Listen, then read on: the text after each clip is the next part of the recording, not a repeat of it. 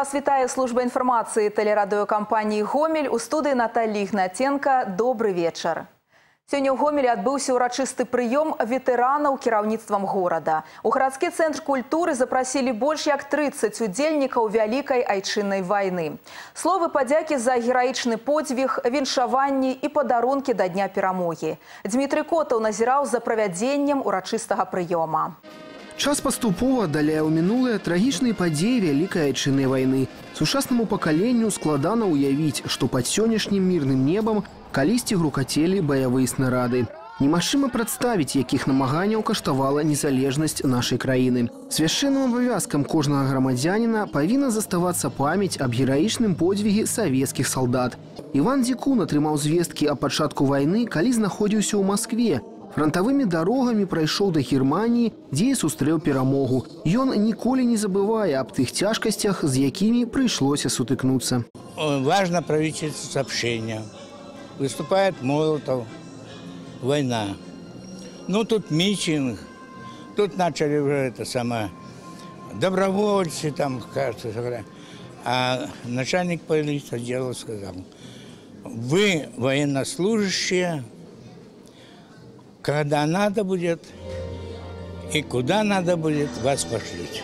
На ўрачысты прыём кіраўніцтвам горада запрасілі больш як 30 удзельнікаў вялікай айчыннай вайны. Кожны з гэтых людзей прыклад неверагоднай мужнасці, адвагі і стойкасці чалавечага духа. Гістарычныя крыніцы сведчаць, падчас вайны гітлераўцы знішчылі ў гомелі каля 100 тысяч жыхароў і разбурылі інфраструктуру горада амаль на 80%. Пасля заканчэння вайны сюды пачалі вяртацца людзі з адной мэтай аднавіць гомель. І гэта быў яшчэ адзін на гэты раз працоўны подзвіг. Аб тым, што гомель у тыя часы знаходзіўся літаральна ў руінах, неадначасова нагадваюць на ўрачыстым прыёме. Людзі, якія змагаліся за нашу незалежнасць, зрабілі ўсё, каб абласны цэнтр зноў здабыў даваенны воблік і пачаў рухацца наперад. І таму за іх вялікія намаганні гэтыя людзі заслугоўваюць толькі глыбокай павагі і бясконцай падзякі. Но я хотел бы особые слова признательности, благодарности высказать нашим ветеранам за их мужество, героизм, ратные, потом еще и трудовой подвиг. И, конечно, пожелать им долголетия, доброго здоровья, чтобы и у них, и у членов их семей все было хорошо. А мы постараемся, чтобы так все и было. Дмитрий Котов, Сергей Лукашук, телерадиокомпания «Гомель». Выхадныя дні ў гомелі будуць насычанымі на падзеі. У нядзелю на плошчы Леніна з нагоды святкавання дня дзяржаўнага герба і сцяга Рэспублікі Беларусь членскія білеты БРСМ ад ветэранаў вялікай айчыннай вайны атрымаць 22 прадстаўнікі моладзі горада. Акрамя гэтага 70 школьнікаў уступяць у рады беларускай рэспубліканскай піянерскай арганізацыі. Пра галоўныя мерапрыемствы святочнай праграмы ў нашым наступным сюжэце. 8 мая ў 19.30 на алеі герояў адбудзецца адкрыццё ўжо чацвёртай па ліку абласной грамадска-патрыятычнай акцыі факел перамогі. А праз паўгадзіны на гэтым жа месцы пройдзе чарговы этап акцыі парад пераможцаў. Гамяльчане змогуць прайсці з партрэтамі сваіх родных салдат па алеі герояў. Дзень вялікай перамогі ў 10 гадзін адкрые шэсці па вуліцы савецкай. Удзелу ім прымуць ветэраны вайны і працы салдаты і навучэнцы гарадскога кадэцкага вучылішча, кіраўніцтва вобласці і горада, калектывы прадпрыемстваў і арганізацыі. Пасля на мемарыяле вечны агонь адбудзецца мітынг памяці. Далей на пляцоўцы каля гомельскага медыцынскага універсітэта будзе праходзіць масавае свята пад назвай трыумф перамогі. Таксама сярод галоўных святочных пляцовак тэрыторыя палацава-паркавага ансамбля. Тут на набярэжнай ракі Сош з удзелам ваенна-гістарычнага клубнага аб'яднання гонар мундзіру адбудзецца рэканструкцыя аднаго з апошніх баёў вялікай айчыннай вайны. Это символично, потому что все-таки у нас э, сейчас майские дни. Это действительно те дни, когда закончилась большая война. И те дни, когда могли уже люди вздохнуть полной груди и понять, что война закончилась. Поэтому это символично, и мы решили взять аналогичную историю. И будет на набережной происходить это в рамках берлинской наступательной операции, какие-то в пригородах Берлина, буквально вот так, встреча, скажем так, последних дней войны. Відовішчным таксама абяцае стаць паказ айчыннай трафейнай тэхнікі ваенных і пасляваенных гадоў. На выставе будзе прадстаўлена больш за 40 адзінак савецкіх і нямецкіх ваенных матацыклаў, аўтамабіляў, артылерыйскіх гармат і амуніцыі. Асобныя экспанаты прадстаўлены абласным музеем военной славы. Нешта ўласнасць гомельскіх калекцыянераў. Дарэчы, правядзенне шматлікіх культурна-масавых мерапрыемстваў запланавана на тэрыторыі ўсіх раёнаў горада. Гараджане і госці горада атрымаюць магчымасць з карысцю правесці час, даецца шмат цікавага і адпачыць. А Большие праздничные мероприятия запланированы в районах города. Это традиционно зона отдыха Пруты, Новобелецкий район, это Любинское озеро, Советский район, это Гомсельмаш, площадь Победы и традиционно проспект космонавтов 70 и, безусловно, ледовая площадка, ставшая уже такой популярной в центральном районе. И в 22.00 состоится фейерверк во всех районах города. Дмитрий Котов, Максим Савин, Сергей Лукашук, Максим Славин. Телерадиокомпания «Гомель». Да святкавання ў дня перамогі далучылася таксама дзяржаўтаінспекцыя в области сумесна з прадстаўнікамі мотаклубаў гомеля і мінска. Сёння ў абласным цэнтры адбыўся мотапрабег, прысвечаны як 9 мая, так і адкрыццю новага мотасезона. Калона байкераў сумесна з экіпажам даі на чале з начальнікам управлення даі УУС гомельскага аблвыканкама Ігорам Макушэнкам стартавала з плошчы паўстання. Далей удзельнікі мотапрабега рухаліся па вуліцы Савецкай да плошчы Леніна. Пасля маршрут быў пракладзены ў накірунку праспекта Рэчыцкі, дзе знаходзіцца курган славы. Тут кіраўніцтва дзяржаўтаінспекцыі і прадстаўнікі мотаклубаў усклалі кветкі і ўзгадалі воінаў-вызваліцеляў, якія цаной уласнага жыцця адваявалі мірнае неба над галавой. Тесное взаимодействие у нас с э, мотодвижением, с байкерскими клубами госавтоинспекции э, налажено. У нас есть понимание. э, И даже э, хочу сказать, что э, при встречах э, сами э, любители э, мотодвижения э, проводят профилактику среди, ну так будем говорить, нерадивых э, мотолюбителей.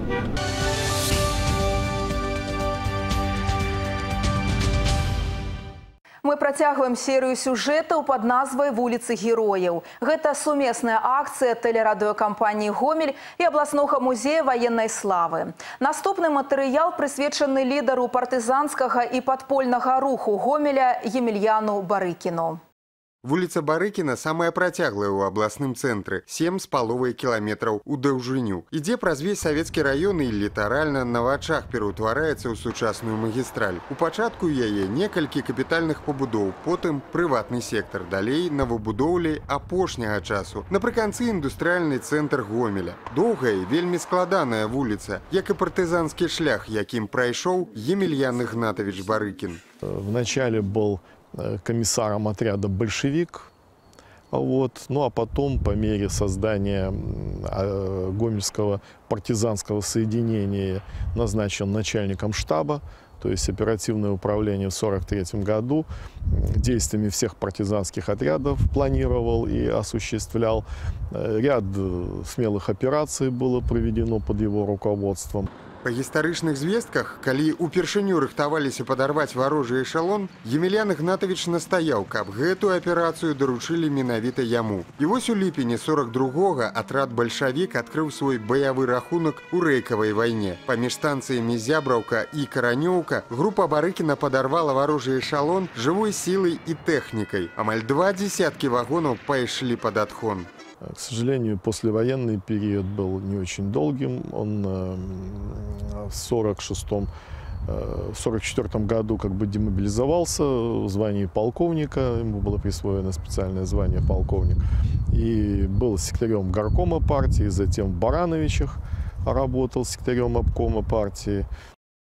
Па ўспамінах дачкі героя доўгі час пасля вызвалення гомеля каля іх дома на старай будзёнаўскай вуліцы стаялі гараджане. Горад быў у руінах, таму да сакратара гаркама бясконцым потокам ішлі людзі са сваімі праблемамі і зваротамі. І неважна, што працоўны дзень быў даўно скончаны. Барыкін нікога не пакідаў без дапамогі і добрага слова. Праз такіх, как Емельян Барыкін, у гомель вярталася жыццё.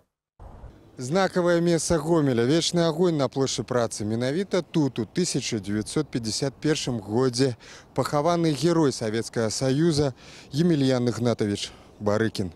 Па звестках таго часу праводзіць яго прыйшоў амаль увесь горад, але і сёння праз 65 год. Шмат хто ідзе сюды, каб пакланіцца гэтаму сапраўднаму чалавеку.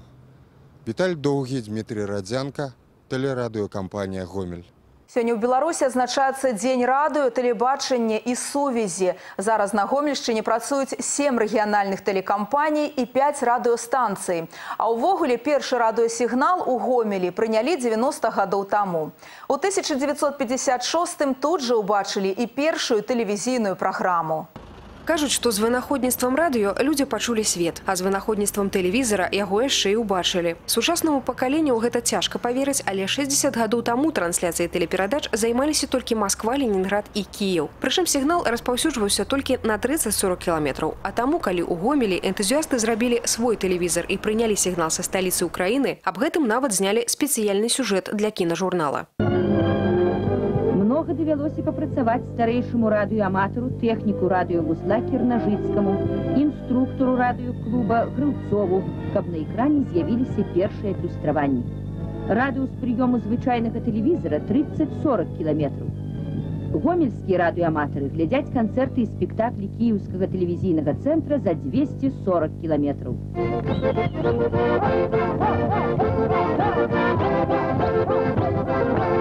Гэты год для тэлерадыёкампаніі Гомель можна назваць юбілейным адразу па некалькіх прычынах. У сакавіку 90годдзя адзначыла абласное радыё. У жніўні 15 гадоў споўніцца радыё Гомель ФМ. 60 гадоў таму 6 лістапада 1956 аматарскі тэлецэнтр выдаў у эфір першую ў нашым рэгіёне тэлепраграму мастацкі фільм Максім Перапеліца. Сёння перспектывы звязваюць з развіццём тэлеканала Беларусь-4 Гомель, які арыентаваны на ўсе катэгорыі гледачоў. Программу мы стараемся планировать для разной категории зрителей и для детей, и для молодежи, и для домохозяек.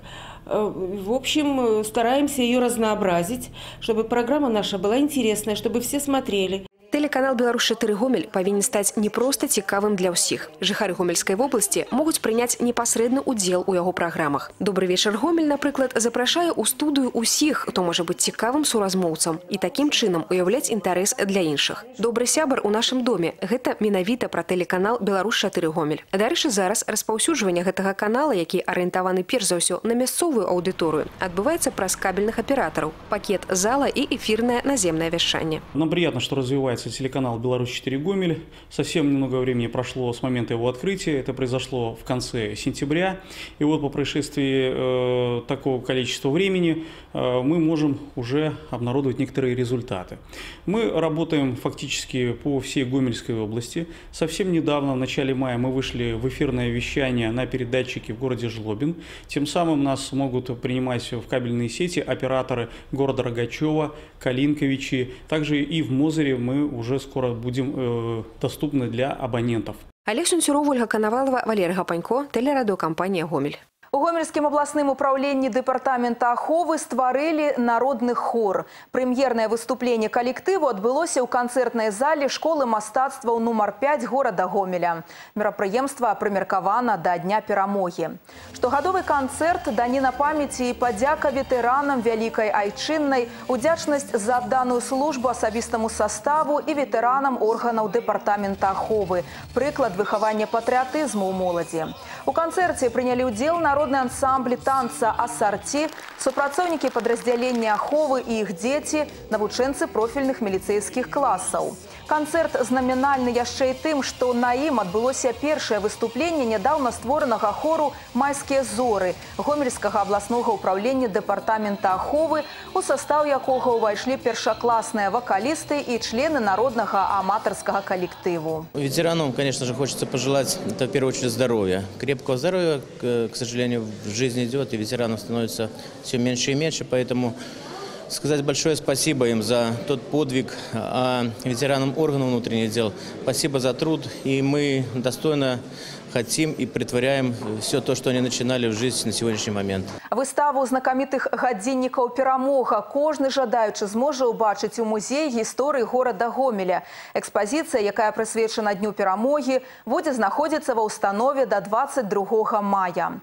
Больш за 50 гадзіннікаў маркі перамога, прадстаўленых на выставе, належаць гомельскаму калекцыянеру Мікалаю Лабанаву. Згодна гістарычным звесткам назву і характарыстыку гадзіннікаў за зацвердзіў Сталін у 1945 годзе пасля заканчэння вялікай айчыннай вайны. Праз год была арганізавана масавая вытворчасць. У Савецкім Саюзе такімі гадзіннікамі узнагароджвалі ветэранаў вайны і перадавікоў працы. Самы ўзроставы экспанат на выставе быў зроблены ў 1948 годзе. На асобным стэндзе можна ўбачыць таксама трафейныя гадзіннікі з Германии, Польши и США. Часы марки Победы усовершенствовались в 50-е и 60-е годы. Названия были все возможнейшие. В 57-м, когда был э, фестиваль молодежи студентов, специально была сделана большая партия для гостей «Москва». Отличная работа Победы.